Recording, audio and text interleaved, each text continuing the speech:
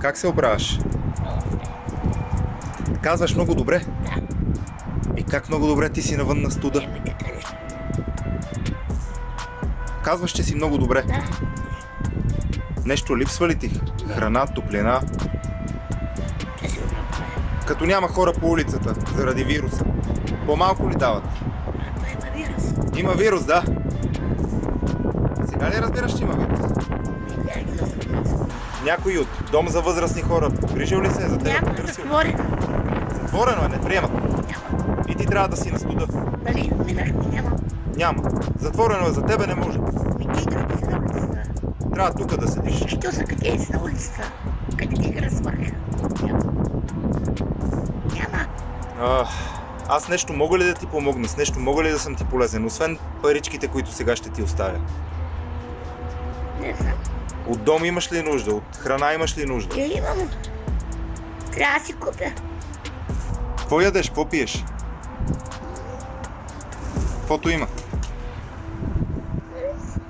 Зависи. Дали има изобщо? Чай. Къде спиш? Тук. Тук спиш.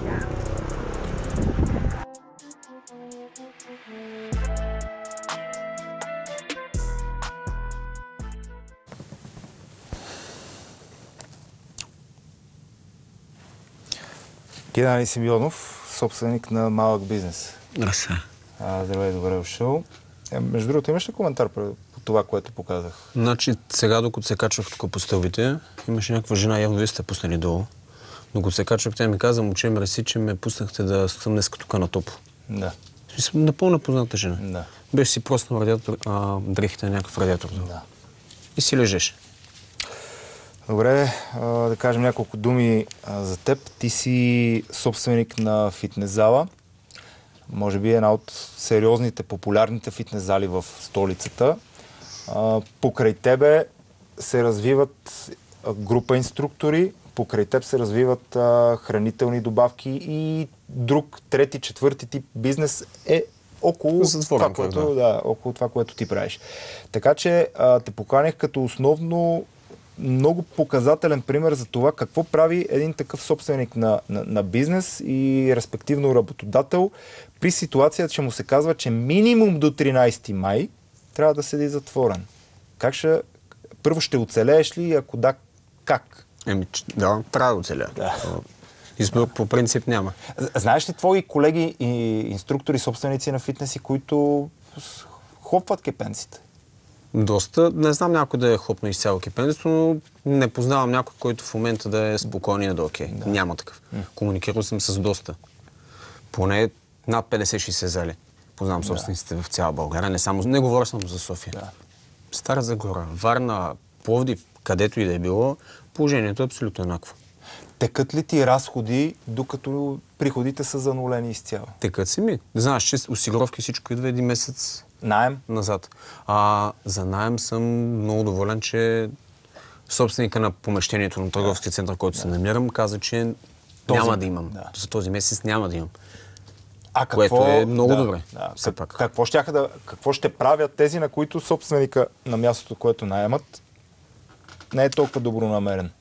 Не знам. Наскоро гледах а, едно интервю по телевизията с един мой приятел и колега, който е собственик на друг зал и каза, че кредита му е хикс сумата всеки месец и няма спиране. Смисъл, Не може да... Звънат си му и си искат Е, добре, аз току-що прочетох а, какво правят в Италия. В Италия държавата застава и ти става гарант за твоя заем.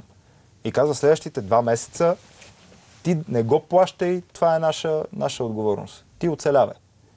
Тук няма такова. Тук сме свикнали. Явно. Чул ли, си, чул ли си някоя мярка от държавата, която е а, угодна за, за, за твоя бизнес, която на тебе може да ти помогне? Честно ли? Това 60 към 40, Това което 60 го на 40. предлагат. А, значи не знам колко са актуални тези сведения в по медиите, които дават. От 60 хиляди фирми, 288 само са се възползвали от това нещо. В смисъл, то това е, Да се кандидатства. Много... това е по-късно. В смисъл, няма какво да, го кажа. Е, рано погледнато 60 на 40, аз като и аз или моят съдружник и двамата пак трябва да извадим пари. Да. Рано погледнато. Без да имаш приходи. Без да имам приход, съответно. В смисъл, Как прие а, новината за удължаване на извънредното положение с още един месец? Аз лично мисля, че всички знаеха, че това няма да е само за 2-3 седмици. Просто ако кажат изведнъж два месеца няма нищо да работи, шока ще е много по-голям. Много по-премливо, ако е две седмици, след две седмици ти кажат, айде още две седмици, айде още две седмици. И ти си казваш, айде минаха две, ще изчакам още две. После като минат тия двете, А ти чисто психологически ми, гледаш. рано погледното, като се замислиш, шока е много по-голям, ако ти кажат, Да. стани два месеца, ще си стоиш вкъщи А или страх ли, страх ли те от това какво ще последва след като отвориш бизнеса и след като залата заработи? А, много хора може би няма вече да могат да си позволяват услугите на залата. И като цяло съм си мислил това, аз ако имам излишни, ако нямам излишни пари, тези пари, които са ми карта за месечната, ще си ги дам за карта за фитнес или ще си платя някаква сметка, или Да. ще си купа храна. Да. Аз няма да отида на фитнес, ще си купа храна. Това всеки нормален би го направил. Другото, което е, а, понеже знаете, че от 13 марта стана това нещо, това, това ще рече, че доста хора са си заредили вече месечните, месечните абонаменти. Аз ще им ги подновя за моя сметка, защото клиентите не са ми виновни с нищо, че залата ни не работи. Да.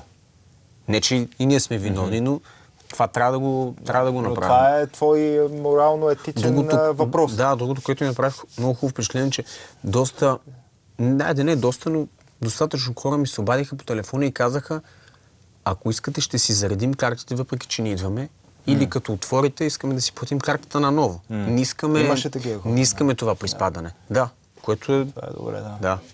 И това го казват хора, които също не ходят на работа. И са абсолютно нормални хора като Има нас. ли нещо, което може да си пожелаеш от държавата, което е реалистично за изпълнение, а на теб би ти помогнало?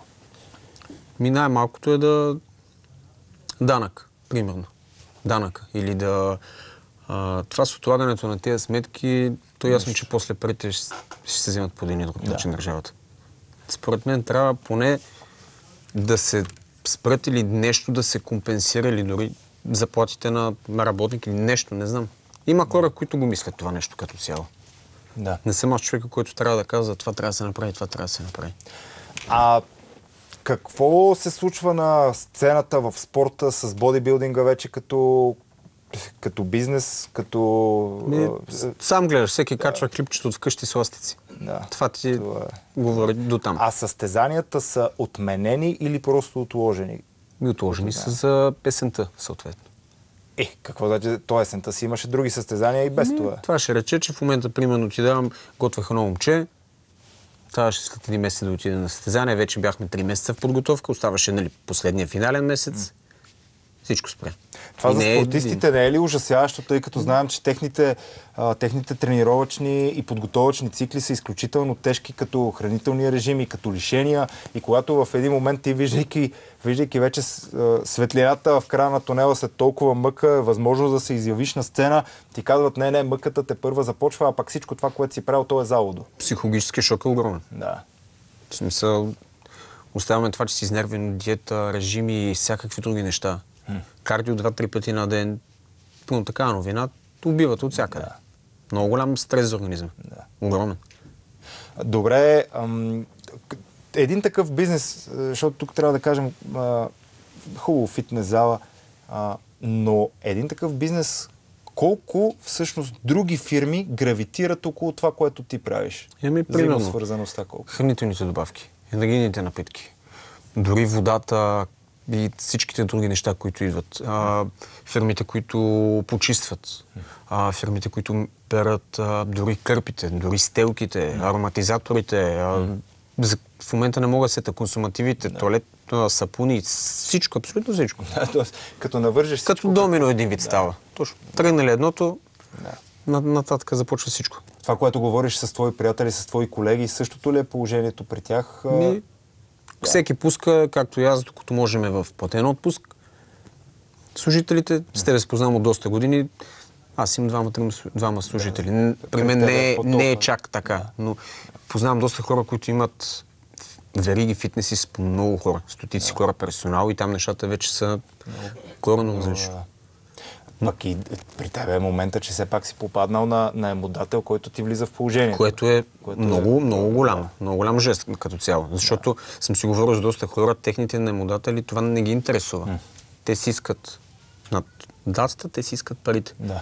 Не ги интересува. Ми, чул съм, Кризи, че някои коронавируси, примерно да. казват, окей, сега няма да ми дадеш, но после ще ти ги разпределя в другите месеци. Ми, Но няма да ти ги опрости. И то малко идва там за кукуриго, т.е. да. няма разлика. Да. Тези, а, какъв съвет да дадем на хората, които сега са масово заключени в тях, не смеят, само затворили са сега, този термин използвам, защото все още нямаме официална забрана да не излизаме от нас, освен до работа и а, до хранителния магазин. Нямаме, но пък много хора са се само затворили, само изолирали. Какво да кажем на тези хора като опции да поддържат все пак някаква, някаква форма? Доколкото е възможно. И то малко трудно да е възможно в домашни условия, но колкото и да е да не... По-големия проблем с мотивацията ли е, защото аз трудно ще се Ми- мотивираш, или с уредите, или по-скоро не, липсите? не е толкова уредите, защото ако иска човек винаги може, аз малко дадох преди това пример с еластик, човек винаги може да направи една изометрия с а, някаква кърпа или еластик или нещо да измисли в домашна, домашна среда, ако Да. ще и да пълна скрипчетата, хората си пълнат бутилки с вода и ги вдигат. В смисъл, винаги има, Има начин, начин, по да. който да си измисли нещо. А, по-скоро е Ти като фитнес инструктор даваш ли, даваш ли наставления, тренировки в домашни, в домашни условия? Водя в момента няколко да, такива онлайн тренировки, но всичко е просто от сорт, чисто просто за раздвижване, за да се, избя... Да. за да се избягва това залежаване. Защото какво правим, когато сме си вкъщи по цял ден и няма къде да ходим? Гледаме телевизия, лежим, И спим. И това. спим и ядем. Да, и е. този кръг е 24-7. Да. И като го умножиш по колко дни ще станат. 2-3 месеца, може да се представи такъв ще е крайният ефект. Да. Ние затова сме и дебатирали тук. Няма ли ефекта върху здравето от евентуалния риск да излезеш да е много по-малък този риск, отколкото самозатварянето два месеца на, на едно и също място, обездвижване, без с цялостна липса от а, слънчева светлина. Това не е ли много Доказано е, че един човек, като се застои на едно място, той се разболява. Да. Да, така е. Може леко, но се разболява от обездвижване. Добре, Геннади, благодаря ти. Геннади. Симеонов, собственик на, собственик на фитнес.